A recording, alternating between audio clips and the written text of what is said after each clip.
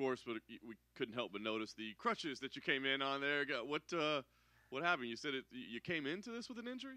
Yeah, it's it was like the same. Does this work or this work? Yeah, it's like the same before I was meant to fight Cowboy. Uh, last week, it just my knee just completely gave out and and, and I, I tore it.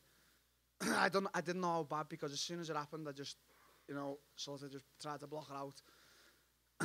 you know everything this week, it was just one more thing on it, and and so then it hasn't. It wasn't really hurting in the fight, but now it's just throbbing me, and I just um, it's stiffening up a bit. I'll be okay in a few days, but I'll, I'll see what's up with it, and I'll get it a little bit checked out.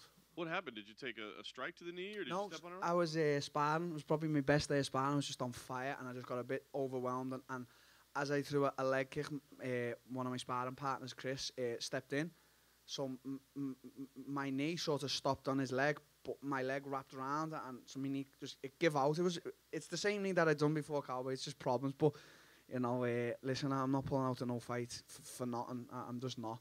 You know, if if if Kelvin would have got the victory there tonight, I wouldn't. You wouldn't have seen me sat here talking about injuries or jet lag or visa problems. You know, it's as I've always said. I'm I'm honest. I'm from the heart, and and you either win or you lose, and that man who wins on that night is the better man.